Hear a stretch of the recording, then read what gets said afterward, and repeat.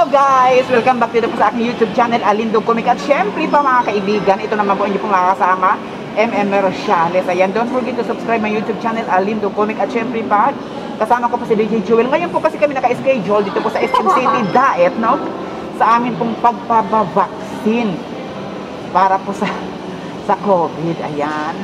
Hanapin po namin dito kung saan party po dito sa third floor ng SM City. Oh, Heidi. Sang, baka dun, girl. Cinema daw eh. Ito. Ay, doon lang sa may cinema.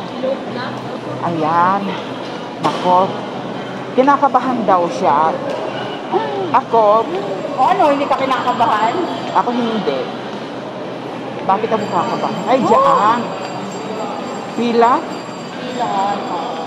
Pila, pila, pila po ang magpapa-inject. At syempre, pa, Sobra. Baka simula dito.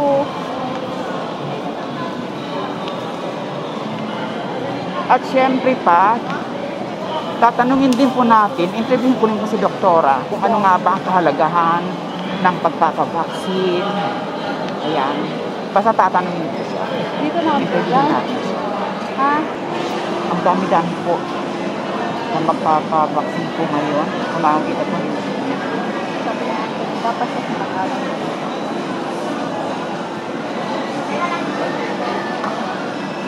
Sila. Kaya mga kaibigan, kasama ko po si Lenrel. Ayan. Ang matagal ko na pong kaibigan. Siyempre pa, ito po yung pila po namin. Ah. girl, anong pakiramdam mo ngayon, girl? Na malapit, malapit ka ng sentensyahan. Nakabahan. Bakit ka Nakabahan kakabahan? ako, girl. Sobra. Ang liit-liit, Takot ako sa mga ganyan. ang liit-liit lang naman ang harap. Buti ka sanay ka sa mga ito. Hindi rin. Nakadalawang operasyon na. Nakadalawang CS na ako pero hindi pa rin ako sanay. Yan. Ang dami-dami pang mga pila. Pumakita po.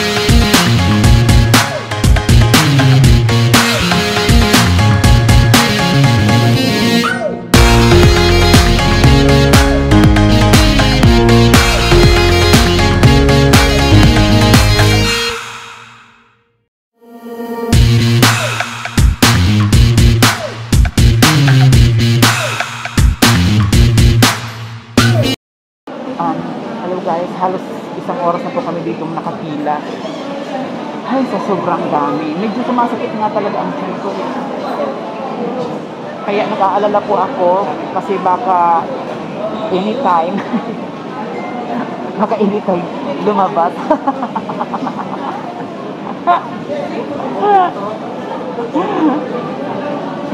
kasi halos isang oras na po kami dito talaga, sa totoo lang. Wala po ditong palakasan talaga. Kahit nakakilala ka pa, wala talaga. Talaga maghihintay ka. Maghihintay ka, natawagin, pipila ka, susundin mo talaga kung ano talaga yung mga mga pinatutupad po nila social distancing, ayan. Sana po magkaroon po ako ng pagkakataon para po makapanayan ko po kung, kung sino man po yung doktor dyan na pwede ko pong ma, makausap. Tatanungin po natin kung ano ba ang kahalagahan ng pagpapavaksin, kung ano ba ang naging epekto po nito sa tao, at kung ano rin po yung um, reaction niya dun po sa ilang mga kababayan po natin na takot magpavaksin. Kasi nga po, kung ano-ano pong mga nasa isip nila na hindi maganda. No? Sana po magkaroon tayo ng pagkakataon. Para po, mahikayat din po yung mga yung pong iba, mga Pilipino o mga kababayan po natin na dapat talagang magpabaksin sila para kontra sa virus. At saka hindi lang po um, rason yung tungkol sa pagkontra sa virus, ang pagpapabaksin, para makalabas din po kami ng Philippine Area of Responsibility. makalabas po kami ng ano ng ng Cam Norte kasi plano po kasi namin next year na mag-tour kami sa Japan ni DJ Jewel. Ayan. Paano kami lalabas ng Pilipinas kung hindi po kung hindi po kami vaccinated, di ba? Tsaka paano rin kami papasok ulit ng Camarines Norte kung hindi kami vaccinated? So, kailangan talaga magpa-vaccine. Ewan ko si DJ Joel kung anong klaseng vaccine ang gusto. Gusto ko yung malambot na vaccine. Malambot na vaccine. Malambot na karayong. Oo. Oo. Ma- malambot na pong vaccine. Yan, tiyagaan lang po talaga dito mga kaibigan sa pagpila. Yan, mahabang pasensya ang kailangan. Pag maiksi ang pasensya, kailangan na natin talaga itong tigrab, no? Itong pagkakataon na to.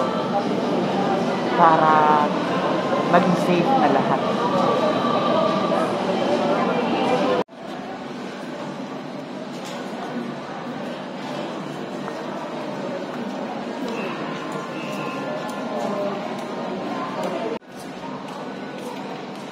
hundred fifty over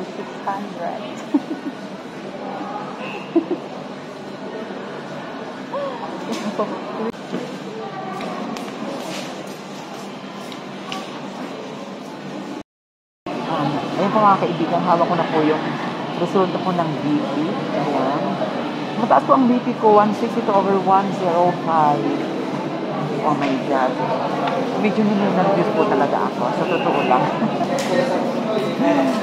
Medyo kinakabahan po talaga. Mag-aantay na lang po kami para po sa screening. Meron pa daw po kami screening. Gustong gusto ko na po talaga kasi magpa-vaccine. Papalapit na po kami ng papalapit sa katotohanan.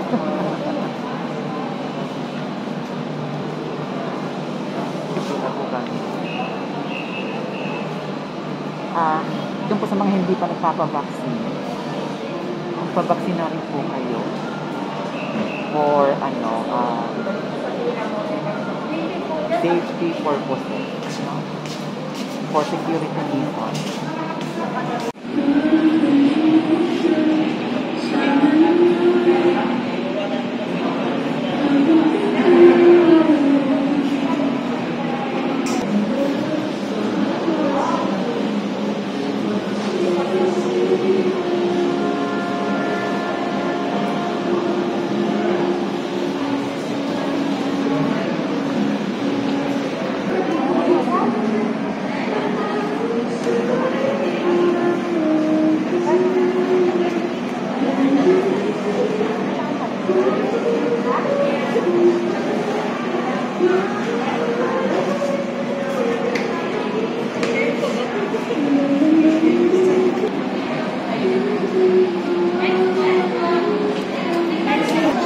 Anong feeling?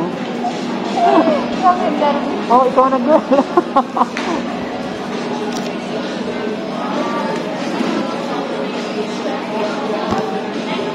Ay, Diyos ko.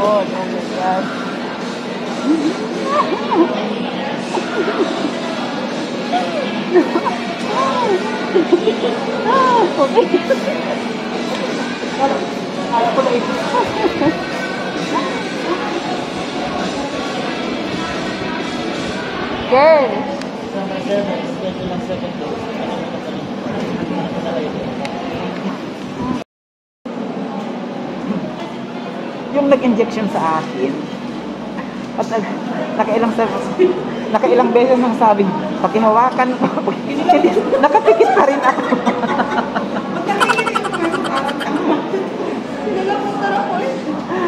pakihawakan po.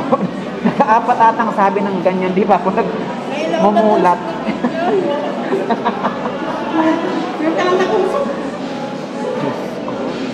Mabuti kung yung ibang tusok na ko. Di ba?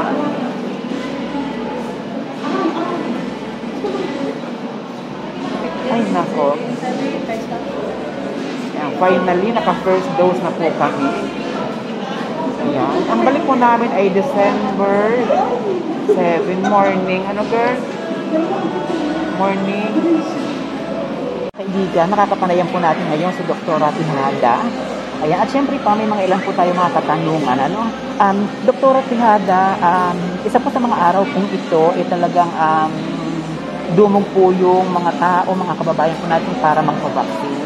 Doktora, ano po ba ang kahalagahan ng pagpabaksin?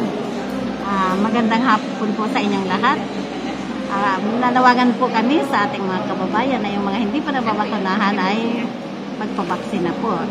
Kasi po, ang kahalagahan po ng ating ng vaccination natin na ito na isang programa ng ating gobyerno dahil sa pandemic po.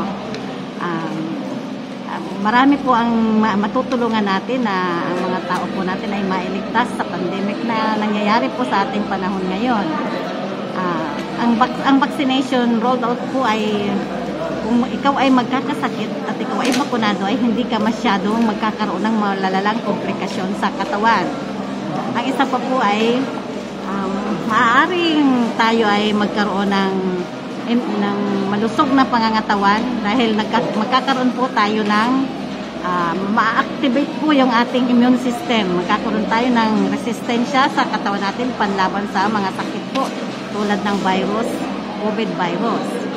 Ang another pa po ay um, kung ikaw man po ay magkaroon ng sakit o kaya ay mag, maka-acquire ng COVID-19 virus po na sa kasalukuyan ay ah, marami na po ang nagkaroon ng, ng virus na sakit na ganito. Ito po ay mag- ah, hindi masyado ang komplikasyon na mararamdaman natin. Ah, pwede pong hindi po tayo gagastos ng malaki, magkakaligtas tayo sa hospitalization, at pwede pong sa mga barangay health unit na lang po tayo magpa-consulta po. mm Dok, hindi po lahat ng mga Pilipino eh naniniwala po sa sa mga sa sa pagpababaksin. Ano po yung reaction po ninyo dito? Kasi may mga lumalabas po baga sinasabi po nila na na kapag ka nagpabaksin ka daw nagiging zombie ka daw. Ganito po, ayan.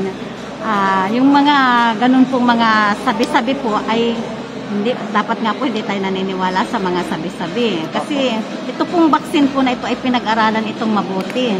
Hindi po ito basta-basta na lang na ibibigay sa isang tao na hindi pinag-aralan ng ating mga espesyalista at ang ating mga scientist.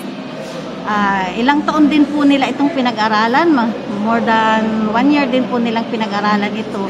At sa kasalukuyan po, actually, pinag-aaralan pa rin kung ano ang mga komplikasyon ng vaccination po ng vaccine natin na binibigay natin sa ating mga kababayan. Kaya, kung hanggat, hanggat maaari po, wag na lang sana tayong pumili kung anong vaccine ang available, ay i-grab na po natin ang opportunity. Kaya yun po ang aming masasabi. Ah, huwag po tayong maniwala sa mga sabi-sabi at hindi naman tayo magpapahamak ng kapwa natin, lalo na yung ating mga, ang ating pong gobyerno, hindi naman po nila tayo papahamak. May panawagan ka po doon po sa mga Pilipino na sa mga kababayan po natin na hindi pa po vaccinated po. Ah, ang masasabi ko po, kinakailangan po nating pinagsisikapan po ng ating gobyerno na mabigyan po tayo ng magandang kalusugan at iligtas sa sakit. Kaya po hanggat maaari po kung ano po ang available na vaccine po natin ay eh, grab na po natin opportunity na ito para rin po ito sa ating kaligtasan. Salamat po, Doktora. Thank you, thank you so much po. Maraming salamat. God bless po. Okay mga kaibigan, ayan, napakinggan, na, napakinggan po ninyo yung pong paliwanag ni, ni Doktora Tinada. Ayan, sana po talaga sa mga kababayan po natin na hindi pa po vaccinated, talagang magpa-vaccina po kayo habang hindi pa po kayo dinadapuan ng virus, ng virus girl. Iihin na po kami, talagang tumutulo na po yung ano, tubig sa aking mattress. Sa kanyang hymen. Sa aking hymen, biglang nabasa.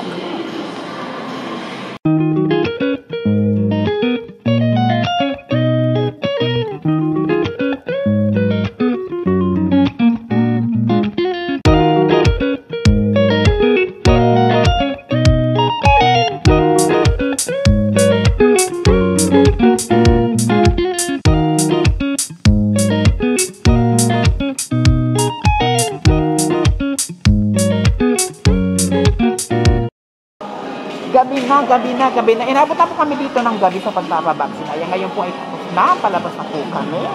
Mga kaibigan, ito po si MM. Si MM Mercialis. Dito po ang aking YouTube channel, Alindog Comment. Please don't forget to subscribe my channel. Ayan. Three days na tayo hindi magtatrabaho, girl. Ha? Thank you.